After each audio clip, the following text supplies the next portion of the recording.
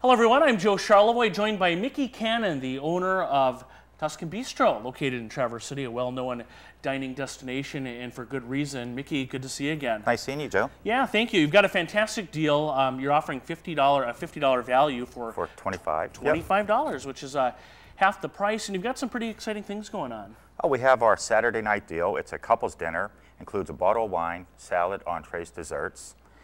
Also on Fridays and Saturdays, we have our raw bar, the only mm -hmm. raw mm-hmm. bar in town.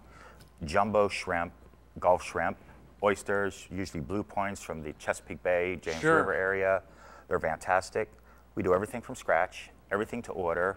Um, my wife does uh, the desserts of the day. She mm -hmm. makes great pies, everything. So then well, my whole family works there and it's a nice family atmosphere. It is, and I've been there, and, uh, excellent food, and everything is authentic, and I think that's the key with you, Mickey. With we are authentic. We're not a meatball, spaghetti and meatball right, place. Right, yeah. And you get dishes like the chicken scarpariello, which you'll never see on a menu anywhere else. Right, it's, exactly. It's fantastic.